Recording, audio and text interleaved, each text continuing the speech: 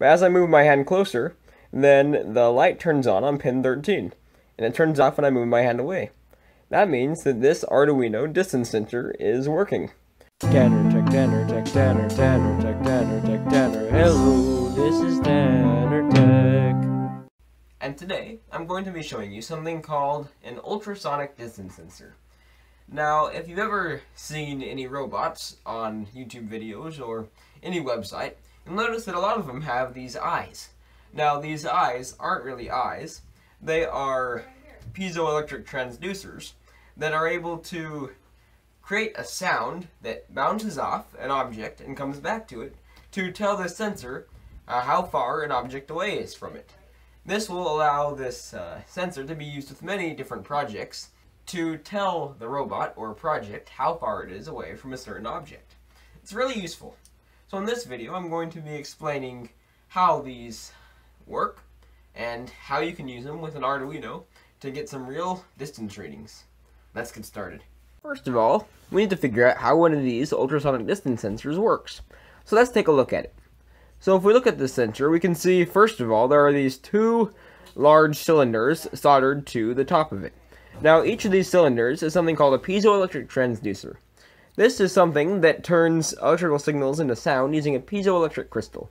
Now, what happens is the circuitry on the back, which includes high-frequency oscillators and operational amplifiers, is able to take a signal from one of these pins, the trigger pin, and that converts that signal into a very high frequency oscillation coming from one of these piezoelectric transducers.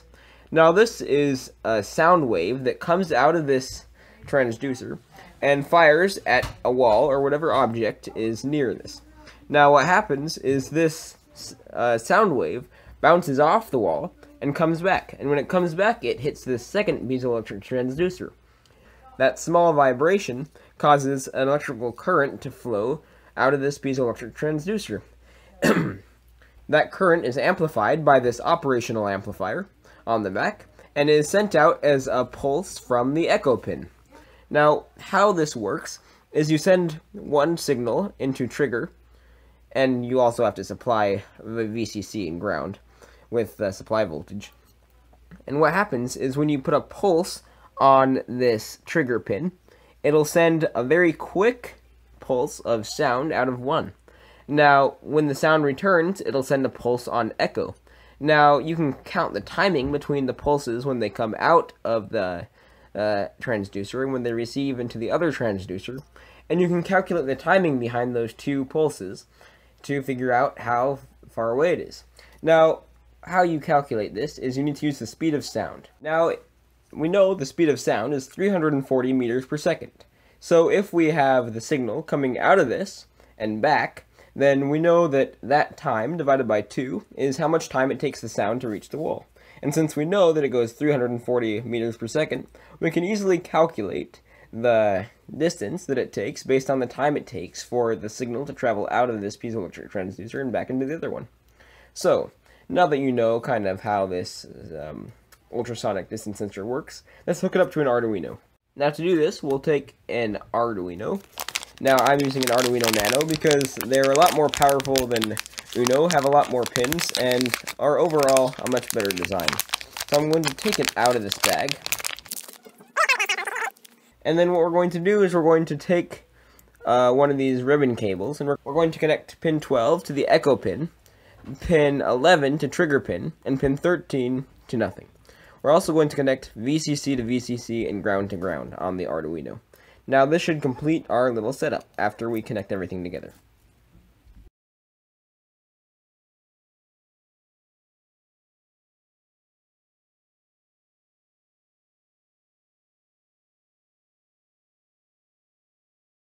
Can then plug this entire Arduino and ultrasonic sensor system in to the computer via a USB cable.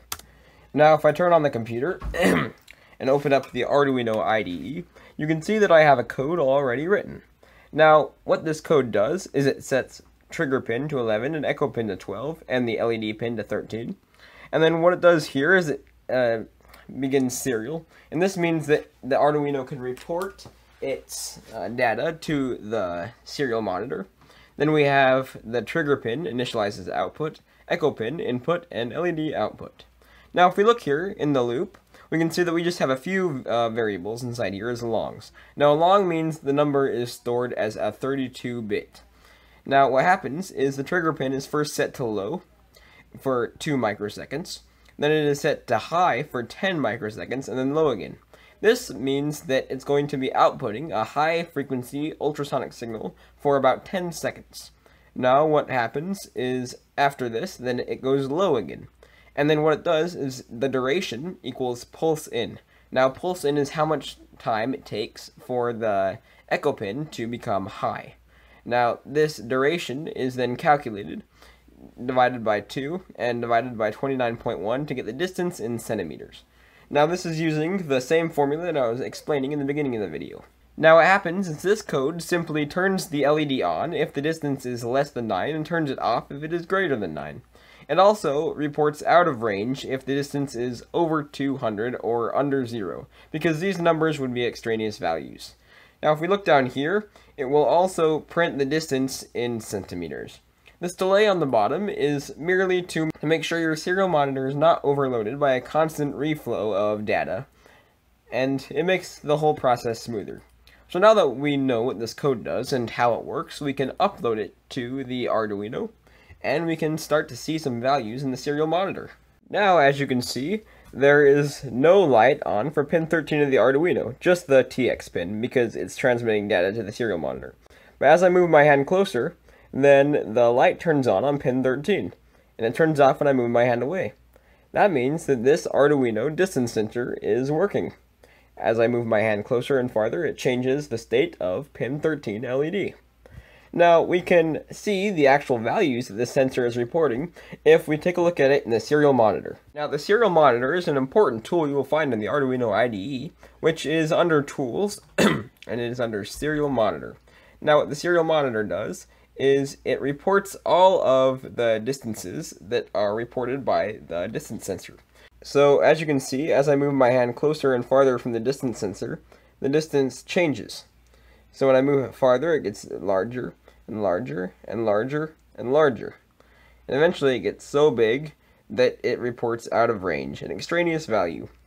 So as you can see, this is a very easy way to set up your distance sensor with an Arduino, so that way it'll work very good and you can use this for different robotic applications. So that's it. Pretty simple, eh? That is how you can take an ultrasonic distance sensor and actually get real values from an Arduino. Now this is pretty helpful for just measuring distance in general, and it'll also be helpful if you want to make any kind of robot that wants to know its surroundings, like this robot.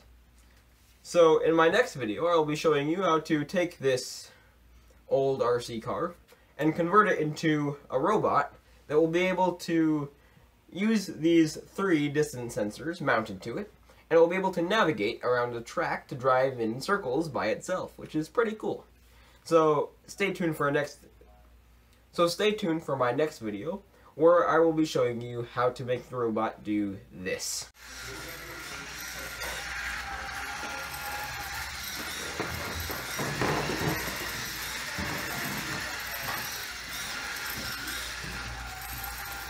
Thanks for watching!